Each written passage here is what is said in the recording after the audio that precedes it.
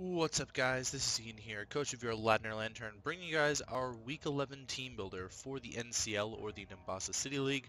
Um, I'm recording this the same day that I played Nacho, uh, which is very far in advance of our Week 11 uh, match potentially. Um, yeah, actually potentially like not uh, 13 days in advance or something. But I'm feeling sick, and next week is my last week of the semester, so it's going to be pretty hectic that way. So I kind of wanted to just get this out of the way, which won't be relevant when I upload this, but there you go. Um, this week we're playing Mudsdale and the Denver Bruxish. His team consists of Mega Sableye, Chansey, Toxapex, Tangrowth, Umbreon, Ditto, Trapinch, Skarmory, Sigilyph, Aromatisse, and Zoroark. For some reason, I let him draft full stall. Um, he's only actually stalled like one game. Um, he's been bringing a lot of nifty sets on these Pokemon, so I'm looking forward to seeing that. Uh, if we win this game, then we clinch ourselves a playoff spot, and depending on the outcome of the Week 10 games from my divisional opponents, Magic and Cade, we also could clinch the division if we win this game. So it's pretty important that we win this game. Um, well, it's not that important, actually. It's not imperative that we win this game, but it's nice to clinch. It's nice for the divisional purposes that we win this game. Um, otherwise, we can hope that the bottom two teams in our conference lose in the same week, and then we would also clinch a playoff spot. So it, it's not guaranteed that we need this to clinch the playoff spot, but if we win, we seal our fate and our own destiny. Um, he has priority in Umbreon with Sucker Punch and Zoroark with Sucker Punch. He has Hazard Setting and Toxapex with Toxic Spikes, Chansey with Stealth Rock, Skarmory with Stealth Rock and, um, and regular Spike. And he has two removal options in Sigilyph with Defog, Skarmory with Defog, and I guess you can kind of count Mega Sableye with Magic Bounce as well. He has no 4 times weaknesses, so that's kind of nothing to abuse there. Um, yeah, playoff implications for us is solid. Um, for him, he might also need to win this game to clinch playoffs. He's got a solid chance to clinch playoffs this week that we're in now, which is week 10. Um, he also could clinch based on other factors. Uh, he's also leading his division, um, so he might need this win for various things anyways. Um, basically, regardless, this match means a lot for both of us. Uh, I know he's probably going to come swinging, and my team can't necessarily deal with his team super well, so we'll see how that goes. Um, the problem is that we might actually end up playing in playoffs too, so we'll see. We'll see what happens. Um, we're gonna start with my first Pokemon. We're bringing Apollo 13. Plan is to bring Celesteela to every single match this season. I don't care if Mortal knows that. Uh, Mortal's my Week 12 opponent. Celesteela is busted in draft format, and I'm going to bring it to every single game. That's basically the plan. Um, I tried bringing a very offensive Celesteela, mostly at the beginning of the season, and it didn't work out for me. Turns out my team has a lot of offensive tools built into it, and. Celesteela needs to fill more of a defensive role sometimes. So, running Toxic, Leech Seed, Protect, and Air Slash. Goal is to try and Toxic Cell something like an Umbreon, Obviously, I can't be synchronized back. Um, I wish I could trap with Celesteela. Well, I could. I could bring block um, and get rid of Air Slash, but that's let's play. No, no, it's not the play. Because then if Sigilyph is Magic Guard Cosmic Power, then I'd lose. So, no, we're not going to do that, but that could be an interesting idea for the future. Um, Toxic Leech Seed Protect Air Slash. Air Slash is the only move I need to hit his team with. He only has Skarmory that resists it, and everything else takes good damage from it. Um, Chansey's obviously not going to take a whole lot. AV Tangrowth basically gets two-shot by it anyways. Um, well, not with my investment, but AV Tangrowth gets gets hit real hard. So does Offensive Sigilyph. Mega Sableye. if it's defensive, excuse me. Um, Protect is there to get lots of Leech Seed and Leftovers recovery as well as Toxic Stall effectively. He has two knockoff users, three knockoff users on his team in Zoroark, Mega Sableye, and Toxapex, so I gotta watch out for that. Four, Tangrowth gets knockoff too. Uh, I'd love to keep my leftovers. Um, I count a lot, and this bulk makes it so that we do not get two-shot by offensive Sigilyph's Heat Wave. He would have to run Timid if he was running offensive to outpace Darmanitan, so that's the plan. Oh my god, pardon me, I'm turning into A drive. Um, modest with 8 investment. We're going to be getting special defense boosts, which is not the best. I'd love to be getting special attack boosts, but uh, not really much I can do about it at this point, so that's kind of the play.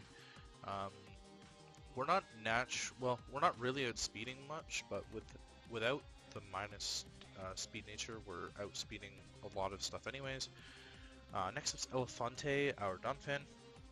Bringing on a reasonably offensive one. It's kind of physically defensive, kind of offensive with Stealth Rock, Earthquake, Knockoff, and Roar. Uh, I've got Roar on there in case Sigilyph wants to set up. I don't want to deal with that garbage.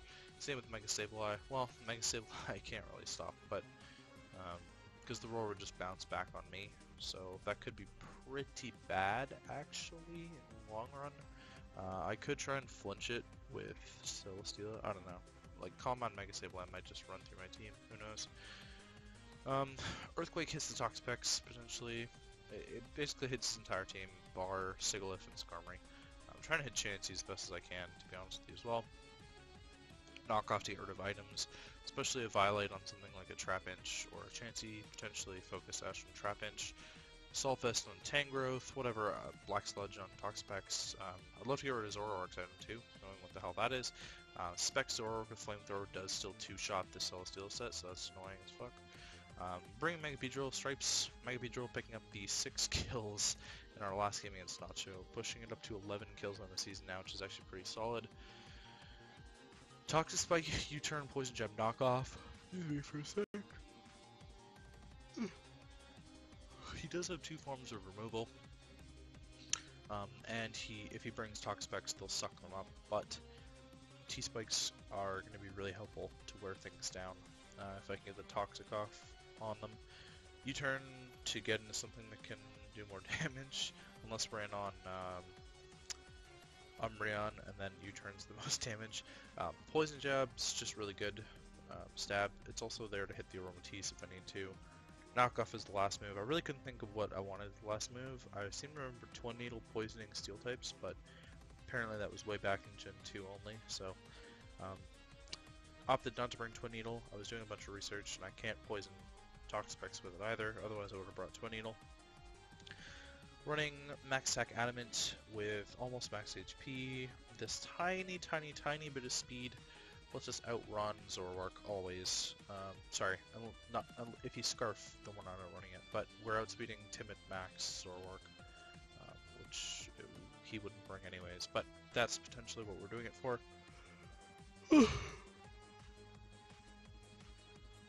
Goodness gracious, I'm tired. Um, Builder, our Gurdurr is next up.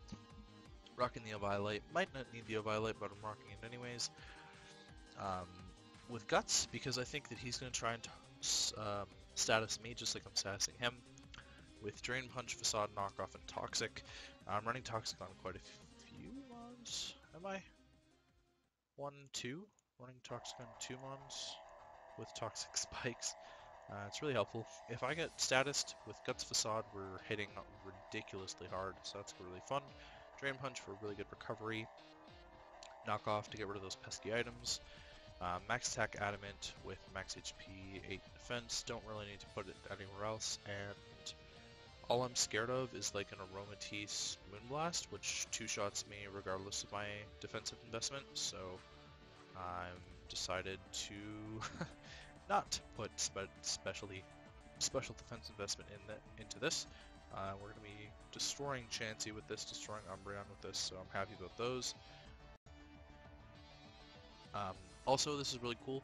If he wants to switch in Umbreon on my status moves, then Facade is going to destroy it. Obviously, Mega Sableye is a really good switch into this, and it can bounce the Toxic back on myself, but Umbreon switching in on the Toxic, it'll get Toxic, it'll synchronize it back, and then my Facades are boosted. Um, actually, everything's boosted. Drain Punch would likely OHKO at that point, but that's kind of the thought with Gurdurr. Uh, next up is Hydreigon, bringing a Life Orb physical Hydreigon. Uh, I think Special is kind of walled by a lot of his team. Things like AV Tangrowth switch into Special Hydra, things like Chansey switch in really well, things like Toxapex switch in really well, things like Aromatisse switch in really well to Special, but a physical one uh, goes pretty hard. Excuse me. Uh, Roost, Crunch, Superpower, U-Turn. The fact that this thing gets Roost really helps me run Life Orb, honestly. Um, Superpower demolishes Chansey and Umbreon. U-turn for some momentum. I don't know, I kind of just like playing the momentum game. Um, Roost recovery, obviously. Running a ton of speed on here. Um, Jolly almost max to outrun max speed Timid Sigilyph if he does bring an offensive one. With max attack and 8 in HP. Uh, last but not least, we're bringing a nifty Darmanitan set. I've been bringing mostly Scarf this entire season, but this is a really cool one. One that Muddy's actually used before. Um, I'm in Muddy's front office, and he built the set, and I was like, oh, that's really neat. So we'll see if he sees it coming. He probably won't expect it, but it might be in the back of his mind. We'll bring a sub-Salac Belly Drum Darmanitan with Earthquake and Fire Punch as two moves. Fire Punch wasn't enough to blow through his team, unfortunately. Um, but Earthquake lets me kill the Toxapex, which is the only thing that Fire Punch wasn't killing at plus 6. Um, I'm running enough speed on here to outrun the uh, max speed Skarmory in case he's bringing one of those. Um, this is dangerous if he brings Ditto. I'm not expecting Ditto. This is dangerous if he brings Trapinch. I'm not expecting Trapinch. It's dangerous if he brings Sigilyph. I'm not expecting Sigilyph. Um, Max Tech Adamant. We're going to hit like a truck at plus 6. Basically nothing's living. Um, that's basically the story. Just like how plus 3 Mega Beedrill tore through Nacho's team, plus 6 Darmanitan tears through Mudsteel's team. Uh, he did not draft an Unawaremon, so he has nothing to deal with that. Um, if I have a sub up, Ditto can't copy me. And I basically need to just ensure that Sturdy on Skarmory is broken if he's running a Sturdy set. If he's running the Weak Armor set, then that's fine. Um, I can sub on a lot of things. I haven't run the calc, but I I should try and find out if Chansey's S-Toss will break my sub. It probably will, because it'll be doing 100 damage. It might be close, you can see my HP value there. It, it might be close. Well, 400 it would still. So no, it will still break my sub, unfortunately. Um, things like Umbreon, I don't know. I, I'm not sure what I can do this on. Possibly Aromatisse, actually. Possibly Aromatisse, actually. Uh, running enough bulk on here that Moonblast isn't going to do anything. And he might just go for the Protect on like a Flare Blitz or something like that to scout out what I want to go for in case I'm Scarfed or Bandage or something. So that's kind of my play is to set up on the Aromatisse then if he brings Aromatisse, I guess. Huh. Didn't really think about what I was going to set up on. Anyways, it's a good set if I can set up. Um, Salac Berry obviously increases our speed, so uh, once that pops, we'll be faster than everything bar Scarf Zoroark or Scarf Sigilyph neither of which I'm super concerned about. And he would have to bring them in and show off that he's scarfed for Ditto to copy me if he opts to bring Ditto. So we kind of just plow through his team with this Darmanitan set. Anyways, that's the team. I'm looking forward to the game. And uh, we play Mudsdale in week 11, and I'll catch you guys for the match.